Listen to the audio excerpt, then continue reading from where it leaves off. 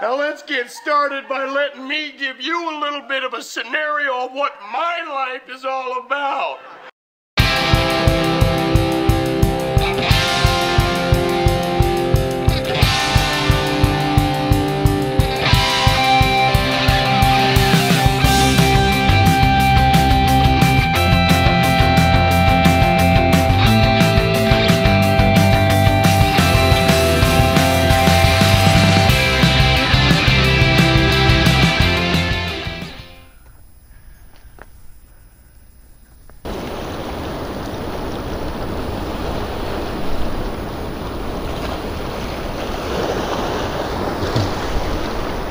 I tell you, it's hard to imagine in the year 2017 that a piece of coastal property here in California uh, near wine country would have been used as a dumping ground uh, by the local residents. But uh, sure enough, here in this little town of Fort Bragg, this used to be a dump. For uh, over 50 years, residents of Fort Bragg were allowed to dump garbage over the cliff here into the ocean uh, as part of a dump. So people brought tr- old tractors, old parts, uh, a lot of glass and bottles. And all of those bottles uh, over the course of another 50, 60 years have gotten smashed and weathered into shiny, well, not necessarily shiny, but into small pieces of soft glass. And uh, that is why uh, most of the tourists that you see here in uh, in the park are looking for is to come see the, the glass beach. But it's an interesting history as a as a beach that has become a destination because it used to be a dump. Go figure. This is uh, dump site number one. Uh, it has a, a, a quite a bit of glass here.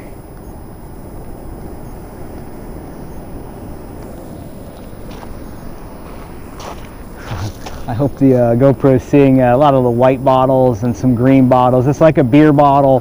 The colors you get, uh, the colors you get here are sort of, uh, you know, you can kind of see this is like a, a, Pepsi bottle. This would be like a 7-Up bottle, and then uh, your beer bottles. So you get those are your uh, main colors that you find here on the beach. Beautiful sunny day, a lot of photographers, treasure hunters. Whew.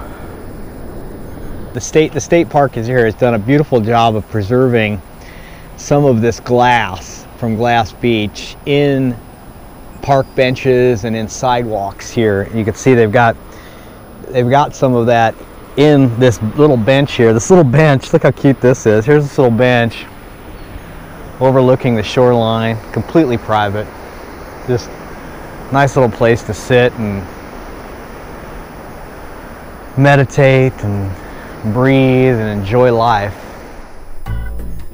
Man, it's been a nice little visit here to uh, Fort Bragg. I'm hoping to uh, spend the night boondocking right here by the lumber company one more night and then uh, heading my way out of town. Uh, it's just late in the day, it's already five o'clock. I hate paying for a campground for a whole day. I got to get out of there at noon tomorrow. So uh, this has just been beautiful here. I've been staying here until the evening. Today I've got some uh, extra sharp cheddar Tillamook and my favorite Milton. Whoops, my favorite Milton's Everything cracker, Tillamook sharp cheddar, and just carrots. Just munching on some carrots. Uh, try to get as many vegetables in you as you can. A nice little story here. I'm here at the skunk train. There's the depot. There's the train. And uh, just reading about the uh, stories here of how one woman hung up a sign outside of her house that read, Save Old Growth. And people on the skunk train would see it.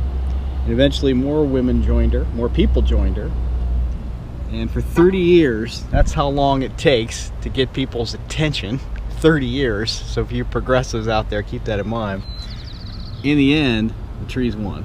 And they managed to save 426 acres, or nearly a third of the old growth redwoods uh, were purchased and, from the lumber company and uh, preserved for all time. And the skunk train has been part of that history. The train that ran from uh, Fort Bragg here to uh, Homer Hayward Whistle Stop onto Willits.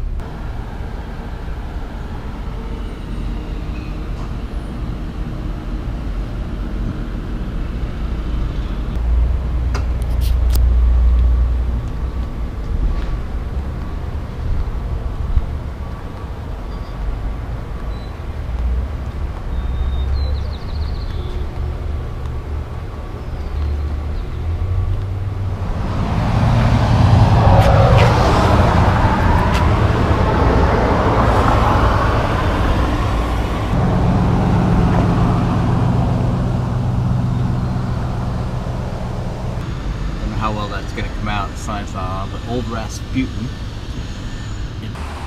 Home of the Thelonious, brother Thelonious.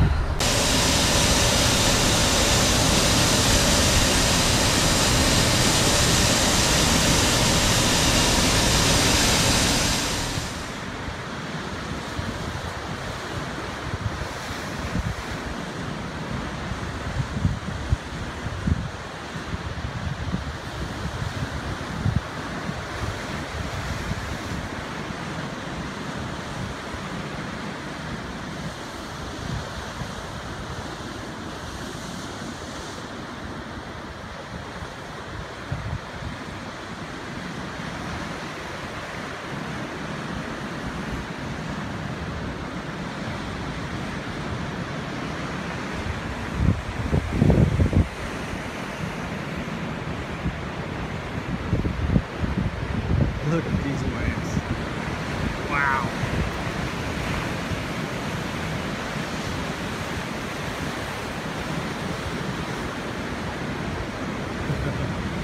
Ain't nobody surfing that.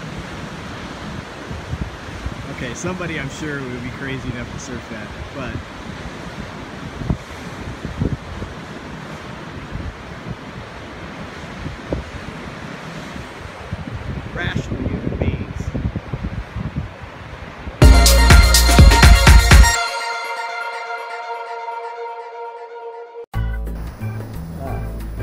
be on camera? Wow, you're super friendly. I don't have anything. I don't have any food for you. But I love how friendly you are.